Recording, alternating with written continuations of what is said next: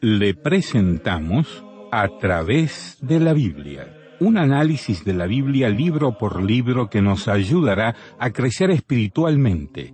Estos estudios fueron diseñados por el doctor J. Vernon Magui, destacado maestro y expositor de la Biblia. Acompáñenos en este fascinante recorrido a través de la Biblia.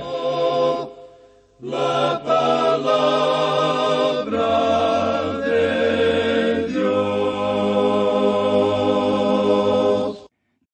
Continuamos hoy, amigo oyente, el recorrido que iniciamos en nuestro programa anterior por este pequeño libro de Ageo. Y como dijimos al principio, usted va a encontrar que este es un libro diferente de cualquiera de los otros que hemos estudiado y que han sido escritos por los profetas. Ageo le da mucho énfasis a la palabra del Señor. Vamos a leer el versículo uno que ya leímos anteriormente de este capítulo uno de Ageo. Dice, En el año segundo del rey Darío, en el mes sexto, en el primer día del mes, vino palabra de Jehová por medio del profeta Ageo a Zorobabel, hijo de Salatiel, gobernador de Judá, y a Josué, hijo de Josadac, sumo sacerdote, diciendo. Ahora usted nota que Ageo comienza diciendo, en el año segundo del rey Darío. Nuevamente debemos decir que aquí se nos presenta un calendario que es del tiempo de los gentiles. El Señor Jesucristo dijo que Jerusalén iba a ser hollada o pisoteada por los gentiles hasta que el tiempo de los gentiles fuera cumplido. Eso es aún cierto en este mismo instante. Nos encontramos en esos tiempos aquí. Esto ya no está dirigido a un rey de Israel, ni tampoco está dirigido a algún rey del linaje de David. Este calendario se refiere a esto ahora. Es el primer día del mes, y es el sexto mes. Debemos decir esto categóricamente porque si usted tiene un calendario judío, notará que este es el mes de septiembre, el día primero del año 520. Este es un libro que se puede fechar muy fácilmente. Y luego dice a Zorobabel. Este es el líder político, el hijo de Salatiel, y como ya hemos dicho, Zorbabel quiere decir sembrado en Babilonia, o sea que él creció en Babilonia. Él tenía un nombre babilónico, había nacido en la cautividad. Y luego se menciona a Josué, hijo de Josadac, sumo sacerdote. Así es que los líderes religiosos y civiles son mencionados aquí.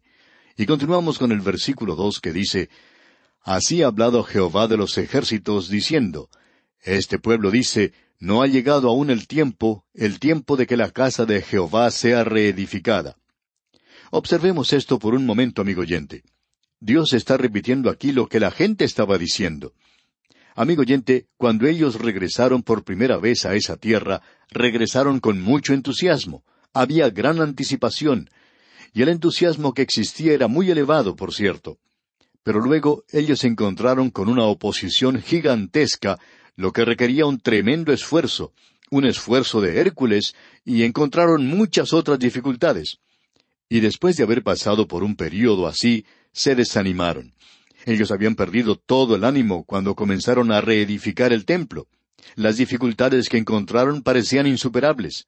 Así es que ellos racionalizaron que ahora no era el tiempo de edificar. Es decir, esa era una pseudo consolación. Ellos habían decidido mantener el status quo, o sea, quedarse en el estado en que estaban. ¿Por qué? Porque dijeron, bueno, eso es algo difícil, duro y evidentemente Dios no quiere que nosotros lo hagamos. Ya se había echado los cimientos de esto, pero la oposición de los samaritanos era tan intensa que ellos detuvieron la construcción. No continuaron, y la excusa que ellos daban era que no había llegado aún el tiempo para hacerlo.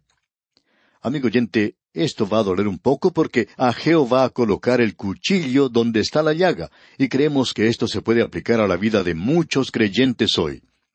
¿Ha escuchado usted alguna vez a alguien explicar que desistió de hacer algo o que no fueron a tal o cual lugar porque esa no es la voluntad de Dios? Y ellos lo explican diciendo, bueno, la voluntad del Señor es que yo hiciera otra cosa, o el Señor me dirigió a hacer esto o aquello otro. Amigo oyente, esa expresión de los creyentes cubre gran multitud de pecados. Es tan fácil de usar cuando las cosas se ponen difíciles y cuando se presentan los problemas y las dificultades. Es tan fácil regresar y poder informar a todos y decir, bueno, el Señor me necesitaba en otra parte. Esto también se puede apreciar mucho en cuanto a algunos pastores, cuando las cosas se ponen difíciles en la iglesia. Y hay veces que es bastante difícil para el pastor, y simpatizamos mucho con ellos, con aquellos que en realidad están tratando de servir a Dios. Pero es muy fácil decir, bueno, el Señor me está guiando a otra parte. Y cuando cualquiera de nosotros nos encontramos en una situación difícil, esa es la respuesta que nos viene muy pronto a los labios. Bueno, el Señor me está guiando a otra parte. Esta gente había comenzado a construir el templo y el hacerlo era algo difícil. Usted recordará a Nehemías, cuando ellos estaban construyendo otra ciudad, la clase de oposición que tuvo él cuando trató de reedificar los muros. Bueno, ellos tenían la misma clase de oposición cuando trataron de edificar el templo, la gente dejaba de hacerlo y decía, bueno, no es ahora el tiempo del Señor para hacer esto. El autor de estos estudios bíblicos, el doctor J. Vernon McGee, contaba que cuando él era pastor de una gran iglesia en la ciudad de Los Ángeles, en el estado de California, Estados Unidos, llegó el momento cuando tuvo que remodelarse el edificio y cambiar los asientos de lugar, ya que era un lugar bastante viejo y quizá de unos cincuenta o sesenta años y trataron de preparar todo y hacer que el lugar quedara lo más cómodo posible. Ahora había allí personas muy piadosas que decían, bueno, nosotros no creemos que deberíamos gastar el dinero en poner bancas acolchonadas. Deberíamos dar este dinero para las misiones. Bueno, la mayoría de la gente quería asientos con cojines, así es que se les propuso lo siguiente nosotros vamos a hacer esto aquí, y aquellas personas que tienen tanto entusiasmo en cuanto a remodelar el lugar, ellos van a dar lo suficiente como para pagar por el banco de ustedes y el de ellos también. Ustedes entonces pueden dar su dinero para los misioneros. Entonces se les dijo que dieran el dinero para los misioneros, pero se recibió muy poco dinero ese día. ¿Y sabe por qué? Porque no había llegado aún el tiempo, no era la voluntad del Señor. En realidad ellos no tenían ninguna intención de dar y utilizaban esa excusa de no dar para los asientos nuevos porque decían que debería darse para los misioneros. Bueno, si debería darse para los misioneros, ¿por qué no lo daban? Pero no lo hicieron. Amigo oyente, eso ocurre en muchos lugares donde se lleva a cabo una actividad como esta. Siempre se presenta el mismo problema. Siempre hay un pequeño grupo, y por cierto que son pocos, y gracias a Dios por eso, pero estos nunca quieren hacer nada. Pero son personas que demuestran mucho talento en criticar lo que ocurre y siempre dicen que el dinero no debe ser gastado en nosotros, sino que debería ser dado para los misioneros. Bueno, ¿por qué no se lo dan a los misioneros entonces? Pero no lo hacen. Y esa era la clase de gente que estaba aquí con Ageo. Él quitó la venda y dejó al descubierto la herida. Y usted puede estar seguro de una cosa, esta no era una de esas curitas que se despegan fácilmente de una herida, sin dolor. Él la arrancó de la herida y dolió mucho. Escuche usted lo que él les responde aquí en el versículo dos. Así ha hablado Jehová de los ejércitos, diciendo, Este pueblo dice, No ha llegado aún el tiempo, el tiempo de que la casa de Jehová sea reedificada. Aquí tenemos ahora el mensaje que él va a presentar. Esa era su respuesta a ellos. Este es el mensaje número uno, dado el primero de septiembre del año 520. Aquí está la respuesta de Dios. En el versículo tres dice, Entonces vino palabra de Jehová por medio del profeta Ageo, diciendo, Notemos que este hombre está dando su total apoyo a la palabra del Señor a través de todo esto. A Dios sea la gloria. Esto no era un cántico para él, pero lo hizo de esta manera. Escuche usted aquí el versículo cuatro. ¿Es para vosotros tiempo, para vosotros, de habitar en vuestras casas artesonadas, y esta casa está desierta? Lo que él estaba señalando era esto. Esta gente que había dicho que no era aún el tiempo de construir la casa del Señor, había construido sus propias casas. Y parece que había bastante tiempo para hacer eso. Esto es algo sorprendente. Aún en el día de hoy uno descubre eso no solo en el pastorado, sino también en la obra radial. Hay muchas personas que prometen, sí, yo creo que el Señor está guiándome a que les ayude. Y luego, más adelante, cuando las cosas se ponen un poco difíciles para ellos, dicen, bueno, quizá no es la voluntad del Señor que yo haga esto. En el momento en que las cosas se hacen difíciles, entonces es cuando decidimos que eso no es la voluntad del Señor. Pero cuando es algo para nuestros propios fines egoístas, personales, entonces sí lo hacemos. Siempre hacemos un esfuerzo extra para tratar de lograr algo, aquello que es para nuestro provecho. Por ejemplo, esta gente estaba viviendo en casas artesonadas, dice aquí. ¿Cómo eran ellos capaces de hacer eso? Había dificultades, pero ellos sobrepasaron esas dificultades para construir su propia casa. Pero no eran capaces de sobrepasar las dificultades para construir la casa del Señor. Y la pobre excusa que utilizaban era, bueno, no ha llegado aún el tiempo, el tiempo de que la casa de Jehová sea reedificada. Por cierto que nos cansa el escuchar a la gente que presenta excusas así para no hacer algo por Dios. Dicen, bueno, no es la voluntad del Señor. ¿Qué es lo que sabe usted de la voluntad del Señor, amigo oyente? ¿Solo porque es difícil, porque es duro, porque le va a costar algo a usted? ¿Quiere decir eso entonces que no es la voluntad del Señor? Amigo oyente, esa no es la forma de interpretar la voluntad del Señor. A veces es bastante duro y difícil. Ah, si pudiéramos tener algunos de los santos de Dios aquí con nosotros hoy, ellos nos podrían decir. Nos preguntamos, ¿Qué diría Abraham a esta gente que hoy dice, bueno, no es la voluntad del Señor que yo haga esto? Este hombre vivía en Ur de los Caldeos. Él tenía una buena ocupación allí. Y usted puede estar seguro de una cosa. Este hombre que iba a ser el padre de los israelitas, de seguro que era un buen negociante. Él estaba gozando de una buena posición allá en Ur de los Caldeos. Esa era una ciudad muy civilizada en aquellos días. Era una ciudad bastante próspera y había mucho lujo allí. Y Dios le dijo a él, Yo quiero que tú salgas de esta ciudad. Y hubiera sido muy fácil para Abraham decirle a sus vecinos, Creo que no he entendido muy bien eso. El Señor nunca me pidió que yo dejara este lugar. Es algo cómodo, fácil, de modo que no creo que la voluntad del Señor para mí sea que tenga que dejar esta ciudad. Amigo oyente, hay miles de misioneros en los campos misioneros en el presente y muchos de ellos están realizando grandes sacrificios. ¿Por qué? porque ellos pensaron que era la voluntad del Señor que salieran y después hicieran esto. ¿Cuántos de nosotros aquí en casa no deberíamos estar con ellos? ¿Cuántos miembros de la Iglesia en el presente están muy ocupados haciendo un banquete aquí, otro allá, haciendo cosas en la Iglesia que no son difíciles, por cierto, donde no tienen que enfrentarse a ninguna oposición y donde no están en realidad esparciendo la palabra de Dios? ¿Cuántos hay hoy que están tratando de decir, bueno, esta es la voluntad de Dios, pero no es su voluntad que yo realice un sacrificio para Dios? Amigo oyente, el mensaje que Ageo nos presenta es un mensaje claro de la palabra de Dios. Y lo que Dios nos dice lo leemos aquí en los versículos tres y cuatro. Escuche usted.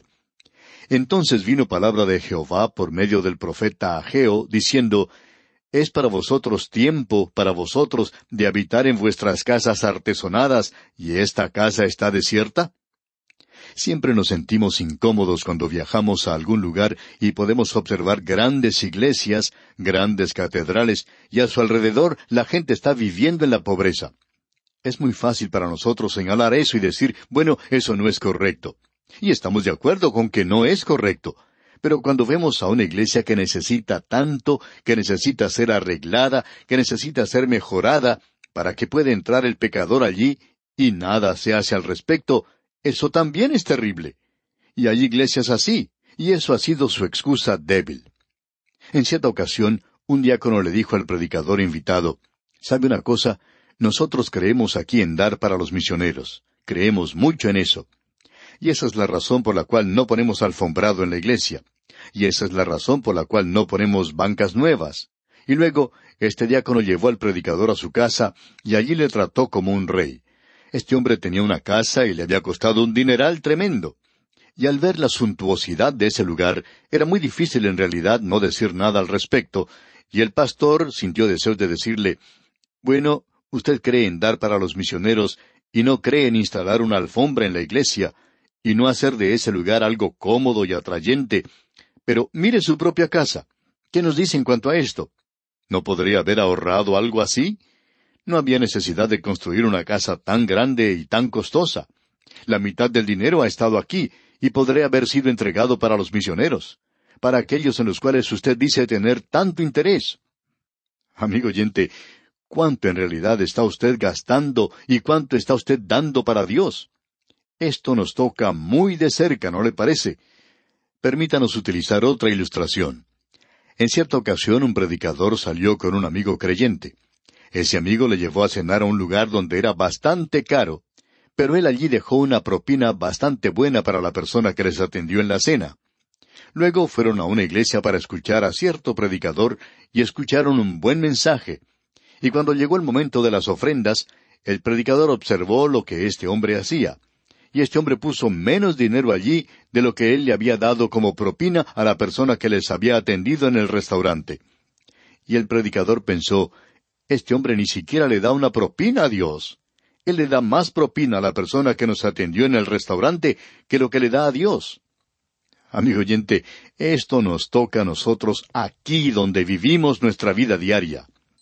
Esta gente estaba diciendo, no ha llegado aún el tiempo, el tiempo de que la casa de Jehová sea reedificada. Y entonces Dios dice, es para vosotros tiempo, para vosotros, de habitar en vuestras casas artesonadas, y esta casa está desierta. Amigo oyente, esa es la hipocresía que existe en el presente. Era algo que molestaba en gran manera a los profetas, el escuchar que la gente se jactaba de lo que ellos podían hacer por Dios, pero lo que hacían para sí mismos eran cosas superiores de lo que estaban haciendo por Dios. Se lo dijimos, amigo oyente, que este mensaje de Ageo es algo que duele. Dijimos que Ageo no iba a ser muy popular. Este hombre nunca ganó un concurso de popularidad. Él nunca lo hubiera podido ganar. Es como un reloj despertador. El reloj despertador nunca va a ser una de las posesiones más apetecidas en el hogar de muchas personas.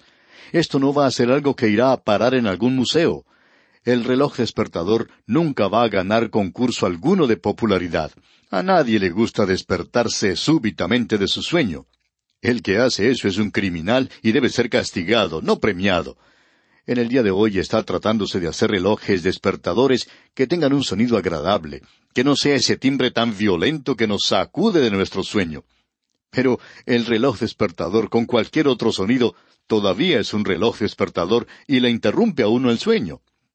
Hay grandes empresas en el presente que hacen que sus empleados escuchen música suave y agradable mientras trabajan. Ya no se utiliza el látigo del capataz para que los empleados produzcan más. Pero amigo oyente, cuando la gente se encuentra cómoda y satisfecha, no quiere escuchar una voz que los perturbe o algún sonido desagradable.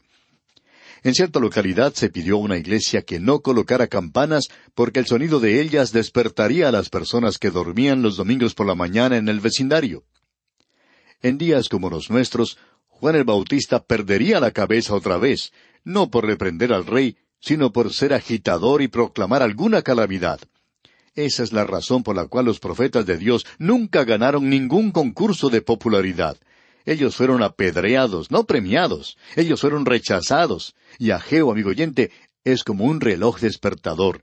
Él nos despierta, Él nos molesta, y no nos gusta esto. Él ocupó una posición bastante difícil. Se encontraba en una situación muy dura. La gente ni siquiera notaba su mensaje. No querían oírlo. Ellos recién habían salido de Babilonia, no querían escuchar lo que él les decía, pero él trató de despertarles y de hacer algo por Dios. Dios mediante en nuestro próximo programa veremos cómo él hizo esto. Este hombre hizo esto de una manera muy fuera de lo común, aunque no era muy original que digamos. Pero aún así es algo que no se está utilizando en el presente. Creemos que puede ser efectivo si adoptáramos el método de Ageo en la obra de Dios en la actualidad. Bien, amigo oyente, vamos a detenernos aquí por hoy. Dios mediante continuaremos nuestro estudio de este pequeño libro de Ageo en nuestro próximo programa. Mientras tanto, le sugerimos que usted lea todo este capítulo uno de Ageo y comience a darse cuenta de lo que tiene que decir. Estamos seguros que se verá muy interesado en seguir con nosotros este viaje que estamos llevando a cabo por este libro de Ageo. Que el Señor continúe bendiciendo su vida es nuestra ferviente oración vuelva a escuchar a través de la Biblia, un programa producido por Radio Transmundial.